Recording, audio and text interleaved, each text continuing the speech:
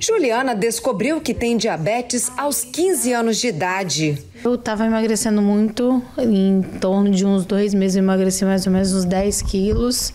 Aí meu médico fez uma bateria de exame e nesses exames constatou que eu estava com diabetes, tipo 1. Por conta disso, Juliana precisa aferir o nível de glicose no sangue toda vez que vai se alimentar. Inclusive, foi o que ela fez quando estivemos na casa dela. Primeiro, ela faz um furinho no dedo. Depois, Juliana coleta uma pequena amostra de sangue nesta fitinha apropriada. Em seguida, ela utiliza um aparelho chamado glicosímetro para saber como está o seu nível de glicose no sangue. O medidor mostra que está elevado. Por isso, ela precisa aplicar insulina para regular os níveis. Apesar de ser fornecido na rede pública, disponibilizado pelas prefeituras, Juliana optou por comprar um aparelho medidor de uma marca diferente da oferecida, no caso dela, em Vitória. Ela explica por quê. Fui medir, na época eu usava um Libre, que é um sensor que a gente coloca no braço. E aí, fazendo a medição do Libre, estava dando um valor e no glicosímetro tava do, do fornecido pela prefeitura estava dando um outro valor de uns 100 pontos de diferença mais ou menos. E isso por umas diversas vezes, tanto que eu pensava que o erro estava no Libre, no sensor. Eu ligava para a empresa e a empresa trocava esse aparelho para mim.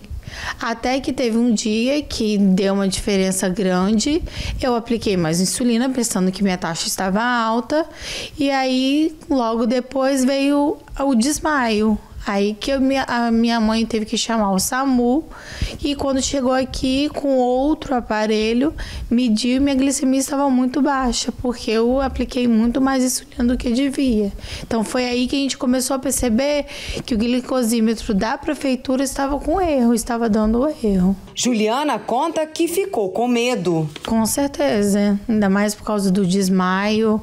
Então, assim, é uma coisa muito séria, pode até chegar a dar em coma. Então, assim, é uma preocupação muito grande. Hoje, ela gasta cerca de 200 reais por mês. É um custo que eu não devia estar tendo, né, no particular. Então a gente está aí para tentar ver se a gente consegue trocar esse aparelho. Por receio de utilizar o aparelho fornecido pelo município, ela prefere ter este gasto. Mas o que ela gostaria é que a prefeitura revesse o tipo de aparelho que é ofertado. A gente está tentando ver se, se consegue com uma empresa melhor para não estar tá dando esses erros, não só comigo.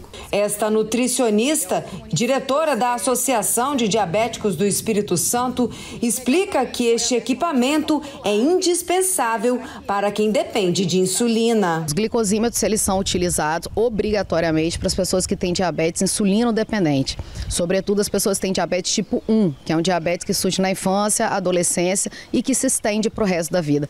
Então, o controle deles do diabetes depende da aferição da glicose diária através desses glicosímetros. Várias aferições ao dia, então quem usa esse glicosímetro são as pessoas com diabetes tipo 1 ou as com tipo 2 insulinizadas, que usam insulina, tá? Que precisaram mudar para esse tratamento. Mas o correto também são as pessoas com diabetes, mesmo que não usem insulina, diabetes tipo 2, né? O diabetes da, maior, da grande parte da população, também utilizarem, porque eles precisam de um controle também glicêmico, né?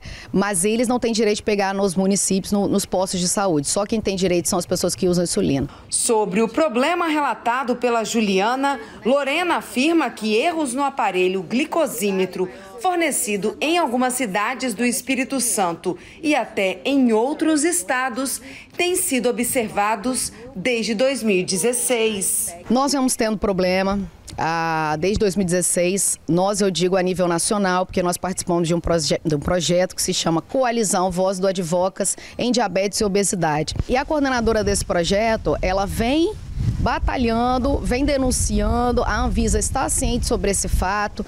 É, iria acontecer alguns testes da Anvisa em relação a isso, não aconteceram. E ao longo desses anos, até agora em 2023, é, esse problema foi piorando. Este documento, fornecido pela nutricionista, diz que no estado vizinho, Rio de Janeiro, foi feito um pedido de revisão deste equipamento pela Fiocruz, instituição vinculada ao Ministério da Saúde. Aqui, consta que os equipamentos foram reprovados. De acordo com a diretora da Associação de Diabéticos do Espírito Santo, os valores nestes medidores têm apresentado resultados elevados, bem acima do aceitável, que seria de no máximo 15% de diferença. Este erro, segundo ela, pode acarretar problemas graves para os pacientes dependentes de insulina.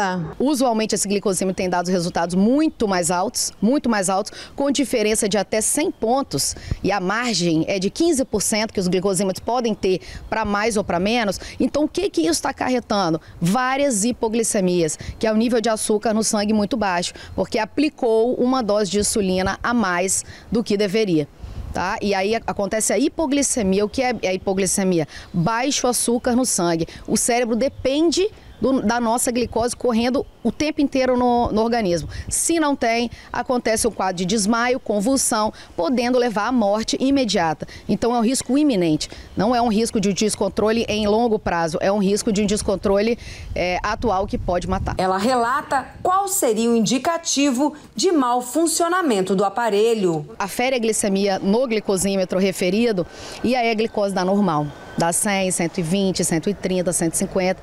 Então a gente percebe essa disparidade tanto de um glicosímetro para o outro, tá? Quanto para as pessoas que usam bomba de insulina, elas precisam aferir a glicemia, calibrar com o sensor. Elas têm um sensor que afere a glicose 24 horas dela, os que usam bomba de insulina, e quatro, quatro vezes por dia elas têm que calibrar esse sensor. E o sensor não, não aceita a medição do glicosímetro, do MET2, porque está tão diferente da glicose que o sensor está pegando que ele não aceita a calibração. Nesta quinta-feira, uma audiência pública vai discutir o problema e deve pedir a substituição do equipamento fornecido no estado pela rede pública em alguns municípios. Nós estamos esperando a audiência pública acontecer, né, onde o Ministério Público vai estar e aí nós vamos fazer essa denúncia oficial e aí esperamos que medidas sejam tomadas muito urgentemente.